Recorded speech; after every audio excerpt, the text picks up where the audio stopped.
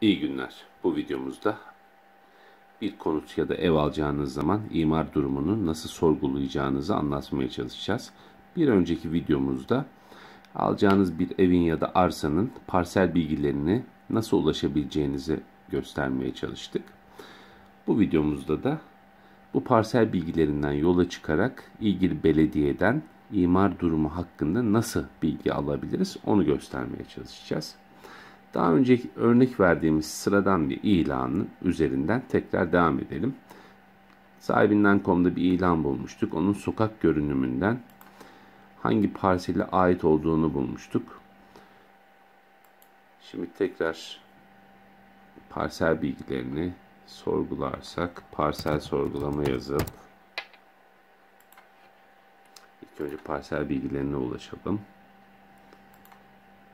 Ali Kalfa sokaktaki bir daire üzerinden gitmiştik. Şu diğerden adres kısmına Ali Kalfa sokak yazdığımızda direkt dairemizin bulunduğu 1, 2, 3. parselde i'ye basıp parsel bilgilerini buradan almıştık. Şimdi parsel bilgilerimiz var. Bunu nasıl imar durumunu sorgulayabiliriz bu dairenin? Hemen buradan ilgili belediye yani Kadıköy Belediyesi'nde Kadıköy Belediyesi'nin alanına giren bir bölge. imar durumu diye bakın burada çıktı. Buna tıkladığımızda ada parsel bilgisini soruyor.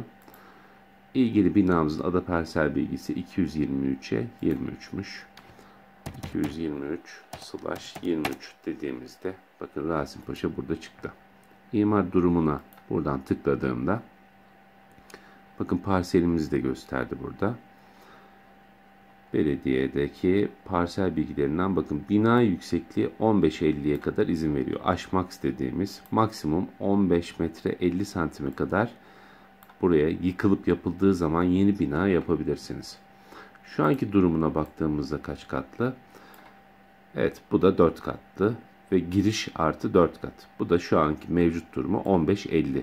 Yani bu bina yıkılıp yeniden yapıldığı zaman aynen bu şekliyle yenisi yapılabilir. Kat avantajı yok ama kat düşüklüğü de yok. Bazen daha düşük yükseklikler verebiliyor imar planında belediyeler. Mesela yanındaki apartmanlara baktığımızda giriş artı 3 kat. Burası 15-50 olduğuna göre mesela buradaki apartmanlardan bir daire aldığınızda kat avantajınız olacak. Yani yıkılıp yapıldığı zaman bir kat daha fazla yapılmış olacak. Bu da size yeniden yapım maliyetini düşürmenize avantaj sağlayacak. Nasıl olacak? Yani müteahhite verdiniz. Müteahhit yıktı. Tekrar bir kat fazla yaptı. Bir kat fazlayı müteahhite verdiğiniz takdirde yeniden yapım maliyetinde sizin payınıza düşen miktar azalacak. Sadece müteahhite yaptırmış olsaydınız şu bina mesela yıkılıp yapıldığı zaman şu anki bir dairenin metrekaresi yaklaşık 2500-3000 liraya yeniden yapım maliyetleri.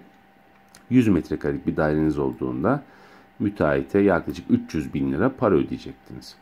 Fakat böyle bir apartmandan daire aldığınız zaman ise bir katını müteahhite vereceğiniz için sizin ödeyeceğiniz yeniden yapım maliyeti düşmüş olacak. Yani 300 bin vereceğinize belki de 100 bin lira vereceksiniz ve sıfır eve sahip olacaksınız.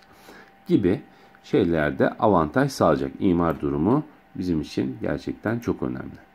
Buradaki imar durumunu ilgili belediyeden imar durumunu bu şekilde kontrol edebilirsiniz. Ev alırken umarım bu rehberlik ışığında size yardımcı olabilmişimdir. Videomu izlediğiniz için teşekkür ederim. Bir başka videoda görüşmek üzere. Hoşçakalın.